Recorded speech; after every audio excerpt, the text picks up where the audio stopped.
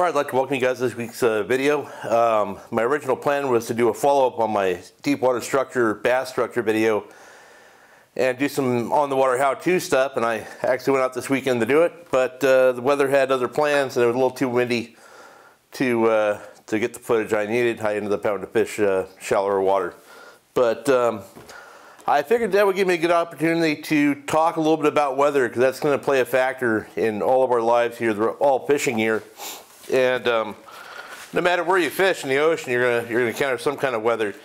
And while the forecasting software bill has never been better, um, it also uh, lulls us into a sense of complacency because we only really consider the area where we're going and not really the things that might contribute to uh, to what's going to happen there. So, um,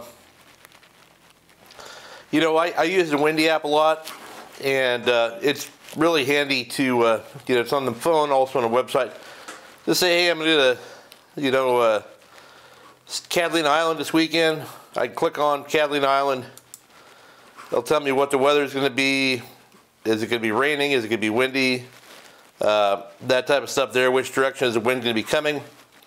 Or you can also uh, stream it live for the coming days. I'll look at this pretty frequently and see what weather changes we have in store. I know that this weekend we got a little bit of rain maybe on Sunday, but um, that basically tells you if it's going to be nice weather or not, but it really doesn't tell you a whole lot about sea state. And that's something that's kind of fallen by the wayside as, uh, as we've gotten more technologically advanced. So uh, talking about that, you know, I'm going to I'm going to go really what's by today's standard considered pretty old school is using the National Marine Weather Forecast and uh, showing you guys how to use that. So, you know, it starts out by, you just go to Google if you're in Southern California, type in the National Weather Service Oxnard. And uh, that's going to give you a link to their uh, site, which will Los Angeles CA National Weather Service. Now, when you click onto this site here, it shows you an overall map of all of Southern and Central California. It shows this purple here is showing where there's a small craft advisory, stuff like that. But that's uh, this allows you to really dial in what you're going to look at. So by clicking the area you want to look at, let's say uh, we're going to look at uh, uh San Nick, because that's something we'll be talking about weather-wise this weekend. Click on that, it expands to this map. You just click anywhere on that map that you want to. Again, we're going to be at the west end of San Nicolas Island. and this shows us what the weather's like. And um, as you can see from this report, I don't know how clearly you can see it, it's uh, fairly calm Thursday, Friday. It gets a little windier into the weekend, but more importantly, the swell bumps up dramatically from 4 feet on Thursday afternoon to over 12 feet on Monday. And while we have some wind over the weekend, it doesn't really account for why that swell is getting so big. So to really understand that, you need to look at a, a much bigger picture, and that's kind of what we're going to be talking about next here. But um, before I talk too much about um, specifics of it, I want to give you guys some basics. Um, so we have a swell, and the way they uh, describe swell is the period and the height. So basically the height is how tall it is from the base of the trough to the top of the peak, and the uh, frequency is how many, it's in seconds, how many seconds it takes for that each peak to come by. Now, just so you understand how that works, the frequency is a lot more important than the wave height. So you could have a 10 foot wave at 15 seconds out of the south, and if you're in open water, you will not even know it's there. But if you have a three or four foot wave at four or five seconds, it's going to be extremely choppy. So you want the frequency to be as, as, big a number as possible. And if the frequency starts to get close to the wave height, it's going to get really bad. And things that can cause that are uh, wind blowing against the swell direction. But more commonly here in California, it's especially during the summer, it is the uh, um, current. So when you have current going against waves, so our, our wave pattern comes from the from the northwest, from the windier areas up north, comes downhill, and then that we hit that that counter current during the summer, which pushes uphill, that condenses down these waves. So what would be a, you know, let's say a four foot wave at 10 seconds now becomes a six foot wave at seven or eight seconds, which makes it much rougher. And that's something that Windy's not gonna tell you about. So those are the things you want to look at and you're gonna need to make some predictions about when you get out there on your own and just understand that during the summer, if you have a fairly close interval swell, close, you know, it's, it's borderline. Once you get to an area where you get current going against it, uphill current, which is very common during the summer, it's get a lot rougher. You add into things like that, you know, when we first started running offshore all those years ago, we'd get to, it'd be nice out, out of Long Beach all the way to the east end of Catalina. Say we're going to Clemente or going to go look for tuna or something. Then you get down right off the end of Catalina, it would just get so rough and stood up and horrible, like, oh my God, I'm not going any further. It's too rough out there. But it's not too rough out there, it's just too rough right there. And if you, it, I've learned now as I've gotten more experience, if you just go another three or four miles, it's going to lay down again.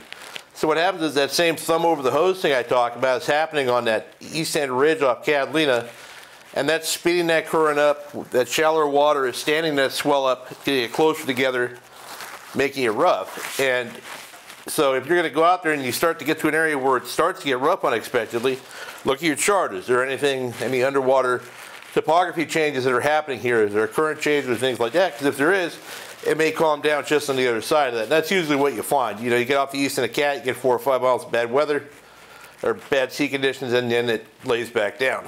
Um, so let's talk a little bit about what's making these swells happen in the first place. So swells are created by something called, well, wind. and um, the distance that wind blows over water is considered the fetch of the wind, which is what creates swells eventually. So you start out with wind, which creates wind ripples, which develops into wind waves, which eventually turns into swells. And you can have a wind event 100 miles away that's strong enough, it will send big swells down here, which like a lot of times during the summer, we'll suddenly have big swells in, even though it's not windy at all. The wind that we're having here, while there's active wind here, is only you know, making the wind waves. It's not producing swell here. It may be adding to swell. It's getting bigger as it goes south. But um, yeah, I want to look at the uh, at what's what's happening with that um, on a bigger scale. So you know, I showed you guys San Nicolas Island, and we're used to looking at it on the Windy app. You know, normally I'll zoom into the Southern California Bight, but that tells you what's happening here, but doesn't explain what's happening out there. So what I'll do here is I'll zoom out, and you can see San Nicolas Island. I got the little flag here. It's in the bottom right-hand corner. And then we have this going all the way up to Oregon, basically. And this is showing what is creating not just our wind, but the swells we encounter, especially during the winter months. So let me get this map in motion here. And um, so you can see it's San Nick here. It's nice, south wind, one knot, nothing. You go out there, it'd be a great day. Rockfish was open today.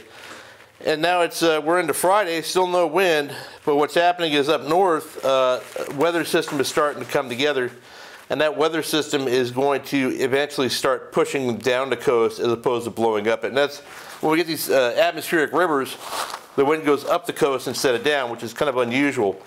But here we go. Now the uh, the weather's starting to come into San Francisco, coming down to Point Conception. Now it's starting to blow down here, but the the swell is starting way up here off basically the Oregon border. Look how far that wind is blowing over that water to increase that swell. But the swell's not going as fast as the wind, so it takes time to get there. So now by Monday afternoon, it's not that windy at San Nick, but we've got 12 foot swells out here. And that was from all that activity that happened up the line there that came down over hundreds and hundreds of miles. So, looking at this, the considerations that we want to make when we're going out